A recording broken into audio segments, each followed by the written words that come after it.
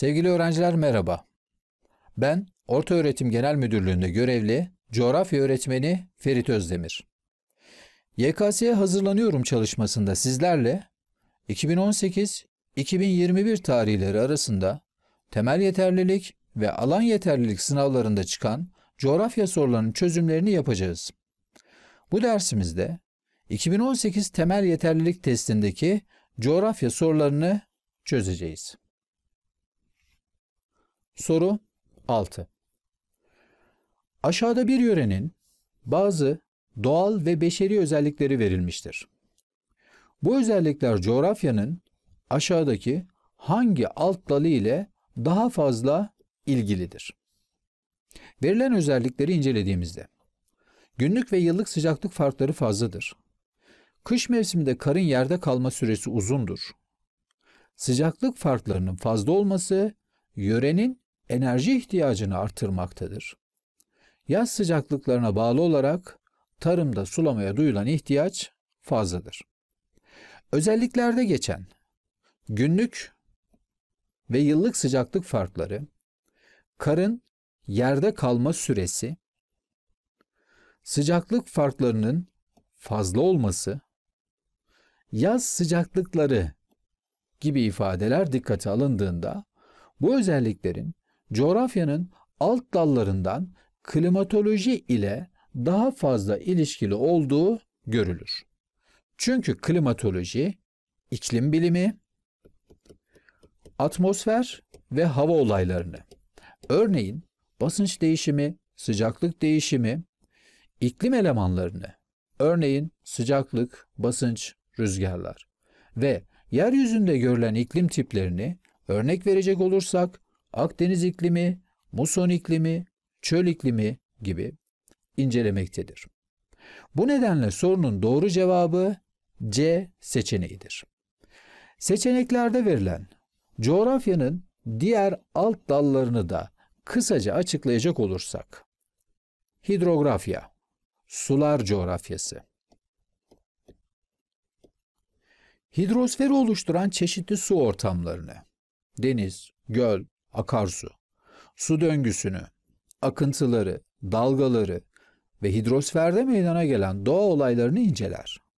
Jeomorfoloji, yer şekilleri bilimi. Litosferi oluşturan unsurları. Bunlar yer kabuğu, kayaçlar, topraklar ve benzeri. Litosfer olaylarını, tektonizma, volkanizma, dağ oluşumu ve yer şekillerini, dağ, plato, ova, vadi, yer şekillerinin oluşum süreçlerini inceler. Biyocoğrafya, canlılar coğrafyası. Biyosferdeki bitki ve hayvan topluluklarının genel özelliklerini, etkileşimlerini ve yeryüzündeki dağılışını inceler. Kartografya, harita bilimi ise yeryüzünün bütününün veya bir bölümünün düzleme aktarılma tekniklerini ve haritalardan yararlanma esaslarını inceler. Soru 7. Yukarıdakilerden hangileri bir ülkede hızlı nüfus artışı sonucu oluşabilecek durumlar arasında gösterilebilir? 1. Nüfusun ülke içinde dengeli dağılması. 2. Beslenme sorunlarının yaşanması. 3. İşsizlik sorunlarının artış göstermesi. 4. Yaşlı nüfus oranının artması. Bir ülkedeki nüfus artış hızının çeşitli sosyal, kültürel ve ekonomik sonuçları olabilmektedir. Nüfus artış hızının yüksek olduğu ülkelerde beslenme, sağlık, barınma ve eğitim gibi hizmetlere duyulan ihtiyaç daha da artacağı için ikinci öncüldeki durum yani beslenme sorunlarının yaşanması oluşabilecek durumlar arasında yer alır. Hızla artan nüfus işsizliğin yükselmesine neden olur. Bu da göçlere neden olabilir. Bu nedenle üçüncü öncüldeki işsizlik sorunlarının artış göstermesi de oluşabilecek durumlar arasında sayılabilir. Bu nedenle sorunun doğru cevabı C seçeneğidir. Ayrıca ikinci ve üçüncü öncüllerdeki oluşabilecek durumlara ek olarak hızlı nüfus artışı sonucu kişi başına düşen milli gelirin azalması, doğal kaynakların hızla tükenmeye başlaması, temel ihtiyaçlara duyulan gereksinim fazla olduğundan mal ve hizmetlere olan talebin artması ve bu talebi karşılayabilmek için üretimde artışlar da sayılabilir. Fakat nüfusun ülke içinde dengeli dağılması beşeri ve ekonomik özellikler ile daha fazla ilişkilidir. Bir ülkede hızlı nüfus artışı olduğunda nüfusun ülke içinde dengeli dağılacağı söylenemez. Yaşlı nüfus oranının artması da hızlı nüfus artışının olduğu ülkelerde değil. Aksine nüfus artış hızının azaldığı ülkelerde oluşabilecek durumlar arasında yer alır. Soru 8. Türkiye'de bir il merkezine ait yıllık ortalama yağış ve sıcaklık grafiği verilmiştir. Grafikteki bilgiler dikkate alındığında bu il merkezinin aşağıdakilerden hangisi olduğu söylenebilir. Bulunduğu enlem derecelerine göre Türkiye'nin geneli Akdeniz iklim bölgesindedir. Ancak özel koşullar nedeniyle bu özel koşullar denizlere olan uzaklık, yükselti, dağların kıyıya uzanış doğrultusu, çevresindeki basınç merkezleri. Bu özellikler nedeniyle Türkiye'nin her yerinde Akdeniz ikliminin etkili olmadığını görüyoruz. Türkiye'de ılıman kuşakta etkili iklim tiplerinin birebir aynısını ya da değişmiş halini görmek mümkündür. Bu iklimler Akdeniz iklimi, Karadeniz iklimi,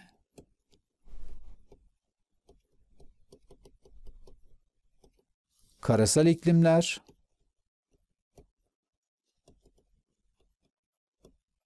ve geçiş iklimleridir.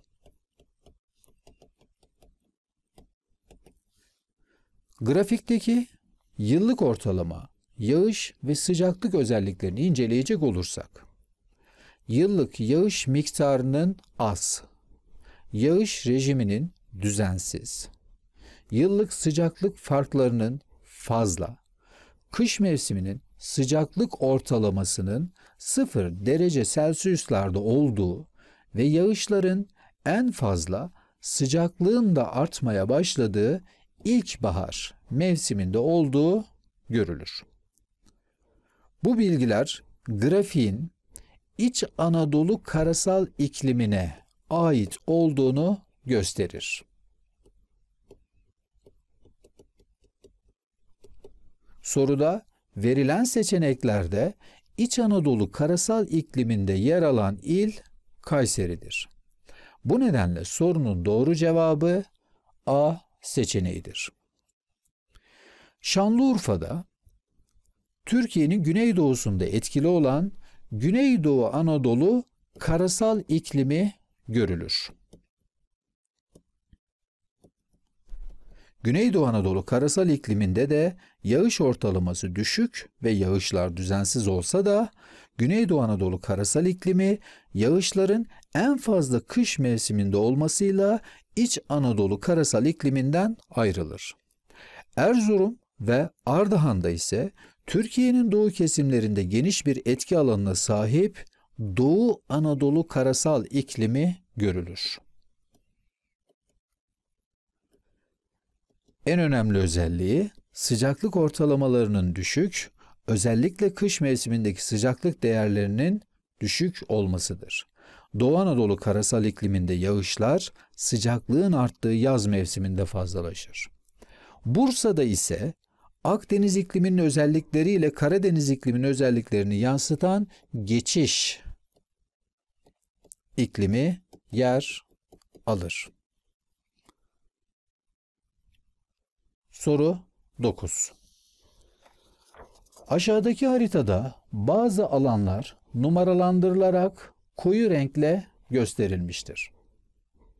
Bu alanlardan hangileri yüksek dağlık bölgeler arasında yer almaz. Mezozoiğin sonlarına doğru başlayıp bugün de oluşumu devam eden Alp kıvrımları dünyanın en genç dağları arasında yer almaktadır. Alpler, Himalayalar, Ant Dağları ve Kayalık Dağları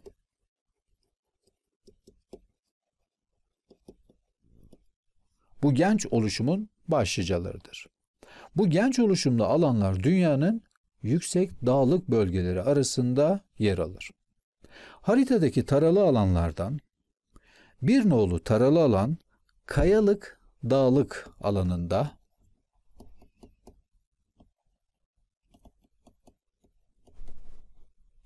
iki nolu taralı alan Ant dağlık alanında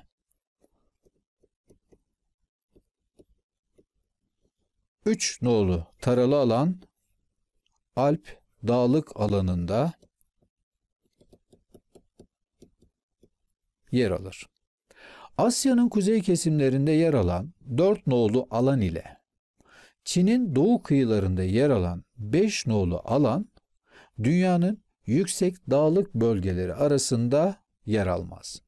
Bu nedenle sorunun doğru cevabı 4 ve 5'in yer aldığı E seçeneğidir. Soru 10. Farklı zamanlarda meydana gelen yukarıdaki doğal afetlerden hangilerinin oluşumunda iklimin etkisi daha fazladır? İnsanların önlemek için tüm imkanları seferber etmesine rağmen engel olamadığı olaylara afet denir. Afetler gerek doğal süreçler, gerekse insanların çeşitli faaliyetleri sonucu ortaya çıkabilir. Can ve mal kaybına neden olabilen heyelan, sel, fırtına, deprem gibi doğada meydana gelen olaylar doğal süreçlerin neden olduğu afetler olarak nitelendirilebilir. Afetlerin tamamında olmasa da büyük bir bölümünde o bölgenin iklim şartları yani yağış ve sıcaklık özelliklerinin etkisi vardır. Örneğin sel, taşkın, şiddetli rüzgarlar, çığ,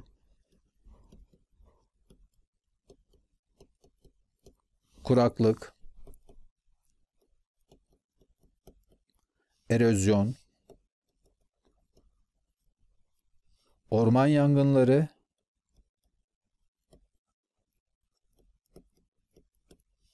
ve kütle hareketleri gibi birçok afet iklim şartlarından etkilenir. Birinci öncüldeki Sahra'nın güneyindeki ülkelerde 1984-1985 yıllarında görülen kuraklığa bağlı olarak 1 milyonun üzerinde insanın açlıktan hayatını kaybetmesi örnekte kuraklık iklimden etkilenen bir afet olduğu için sorumuzdaki iklimden etkilenen ifadeler arasında yer alır. İkinci öncüldeki 2004 yılında depreme bağlı olarak gelişen ve Hint okyanusunda etkili olan dev tsunami'nin kıyı kesiminde 200 binden fazla insanın hayatını kaybetmesine neden olmasında etkili olan doğal afet deprem ve depreme bağlı olarak gelişen tsunami'dir. Bu afetler jeolojik ve jeomorfolojik kökenli afetlerdir. Üçüncü öncüldeki Muson Asyası'nda 2004 yılının Haziran ve Temmuz aylarında meydana gelen yağışlar sonucu 300 kişinin yaşamını yitirmesi ve binlerce kişinin de çeşitli şekillerde zarar görmesi ifadesinde bahsedilen doğal afet, hidrolojik ve klimatolojik kökenli afetler arasındadır ve iklim özelliklerinden etkilenir. Dördüncü öncüldeki Şili'de 2010 yılının Şubat ayında meydana gelen 8,8 büyüklüğündeki depremde 524 kişinin hayatını kaybetmesi ve binlerce kişinin evsiz kalması ifadesindeki doğal afet de ikinci öncüldeki gibi jeolojik ve jeomorfolojik kökenli afetlerdendir. İklimin etkisi daha fazla olduğu doğal afetler bir ve üçüncü öncüllerde verilenlerdir. Bu nedenle sorunun doğru cevabı B seçeneğidir.